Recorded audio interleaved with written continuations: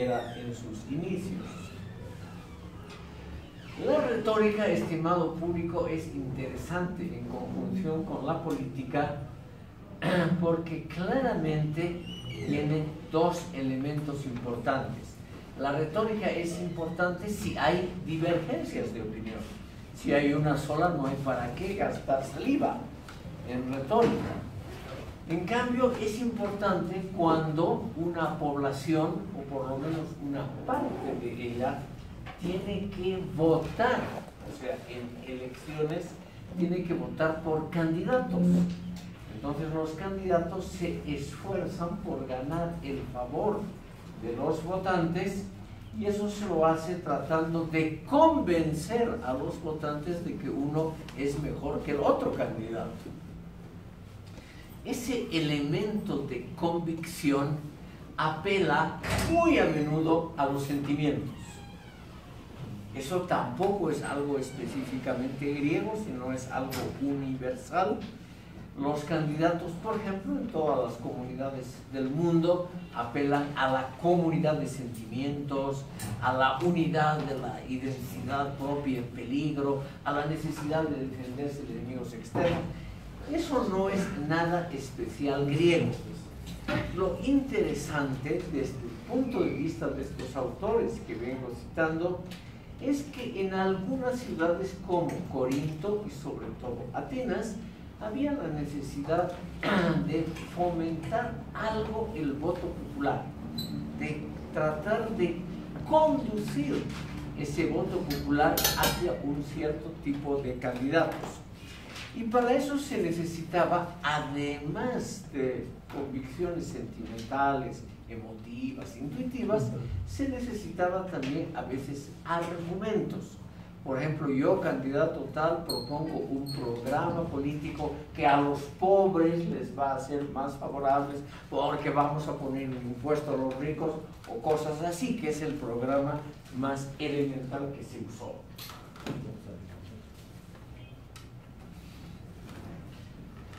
La retórica entonces es importante, estimado público, porque fomenta un arte argumentativa colectiva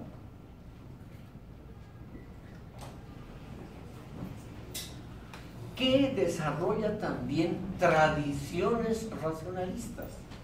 O sea, desde un comienzo estos oradores usan sus sistemas argumentativos de acuerdo a esquemas.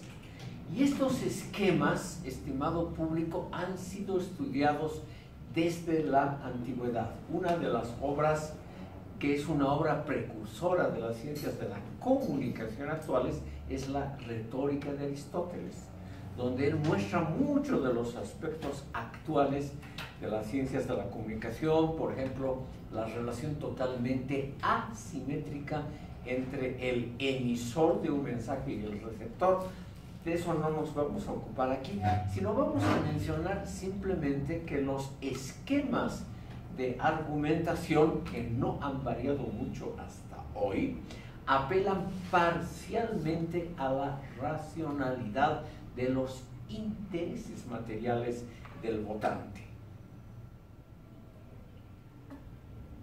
Esos intereses racionales tienen que ver obviamente con impuestos, ayudas.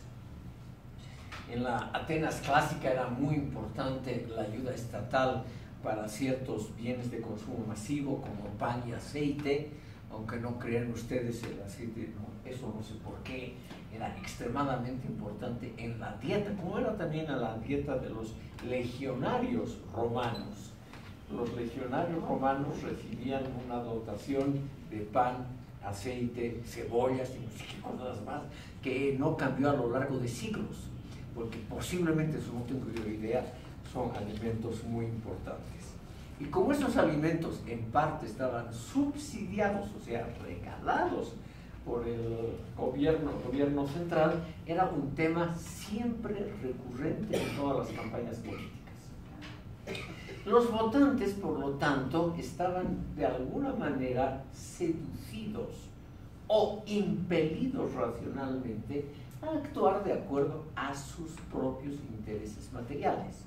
Entonces, los oradores que usaban una retórica relativamente buena, ustedes deben comprender que no había los medios modernos de comunicación actuales, no había la enorme cantidad de diversiones actuales, y eh, tomar parte en esas actividades de los oradores, que además eran gratuitas, era realmente un modo de divertirse también.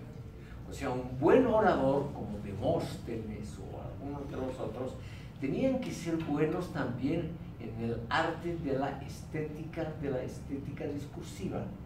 Tenían, tenían que saber tocar esas fibras íntimas de la población esas fibras íntimas, porque era importante seguir algunos esquemas que se habían desarrollado a lo largo de siglos. Quiero mencionarles el punto más importante que lo menciona Jäger en la paideía, en la, justamente en la educación. La retórica general, la oratoria era importante para fundamentar la especificidad de la filosofía que vino después porque significa una cierta aceptación de que hay adversarios.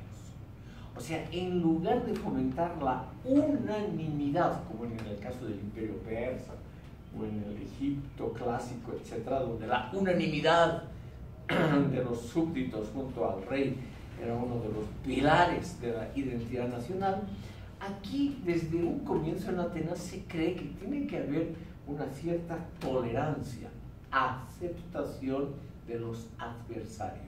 Si no, no habría necesidad de votaciones, o sea, de un sistema democrático. Y esto nos lleva a uno de los puntos centrales, estimado público. La filosofía se ha desarrollado muy probablemente en conjunción con la evolución de la democracia.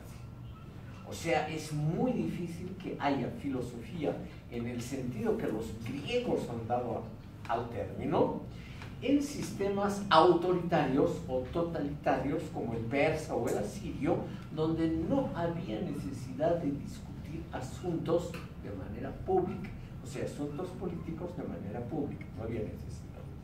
En cambio, donde hay elecciones, por más modestas que sean, por más espaciadas que sean las elecciones, automáticamente crece la necesidad, por lo menos en forma muy incipiente, de una atmósfera discutidora donde nadie tiene totalmente la verdad y donde los adversarios pueden ganar una elección tratando de convencer al público de que tienen el mejor programa posible. Entonces, estimado público, la filosofía está unida al diálogo, a la discusión de ideas. Esa discusión de ideas se ha dado primeramente en un campo político, en un campo público. Y por ello es que la democracia griega, tal vez sin quererlo, no ha sido de ninguna manera, según Jäger, algo calculado de antemano, la democracia ha sido uno de los resortes más importantes para el establecimiento de una filosofía racionalista, o sea, basada en argumentos que pueden ser discutidos públicamente. Por favor. Sí, tal vez para complementar a lo que estaba comentando sobre